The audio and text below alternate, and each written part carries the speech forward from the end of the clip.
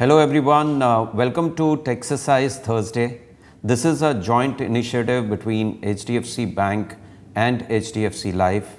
What we're trying to do is help you plan your taxes and choose the right insurance product.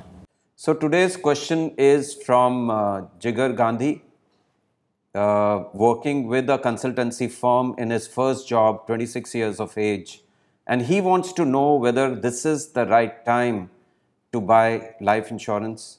Uh, in fact, he specifically asked term insurance. Uh, his annual income is 9 lakhs. And he also wants to know what is the right amount of insurance that he needs.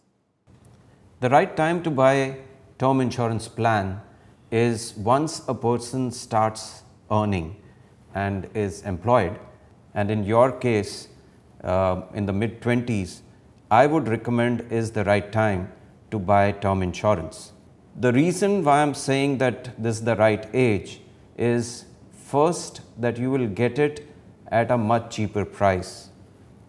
Second, if you were to delay this decision, there is a possibility of premiums going up because of the age and also the fact that at higher ages one tends to have various uh, health conditions which again bumps up the premium.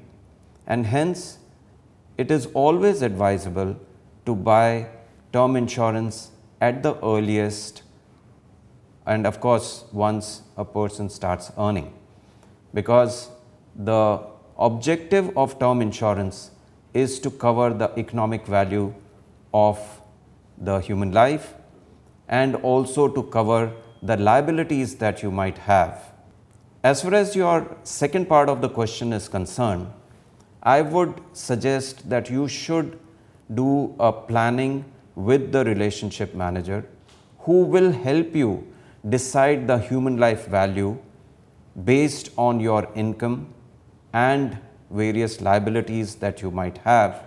Basis this information, he'll be able to suggest the right level of life insurance required by you.